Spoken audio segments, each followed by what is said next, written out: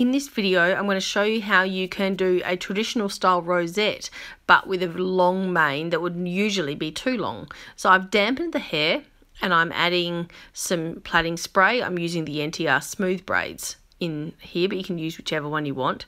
Comb the hair down. Now I'm going to section the hair into three sections, but for this horse, because her mane is so thick, I'm making the middle section thinner and then as you can see the tail of the previous plait is actually in, hanging over the back of the mane at the moment and I'm going to add that in now into the center one. If you've got a thinner mane you may wish to actually only split this section here into two and use the tail as your middle section. So it just comes down to the mane that you're using and what it's like and what works best. So I'm going to plait down nice and firmly but not as long as I would normally do for a normal style rosette because usually for a rosette I would fold it in half and then in half a second time to create it. For this one I'm actually only going to fold it in half once.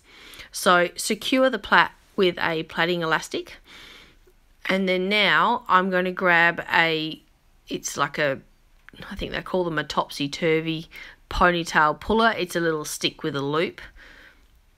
So pull it nice and tight and grab your little topsy-turvy thing. You don't have to use one of these. You can just push the tail for push the tail through the base of the plait. I just find this really easy and controls the hairs a bit better. So I pull that through and now that tail is all ready to add into the centerpiece of the next plait.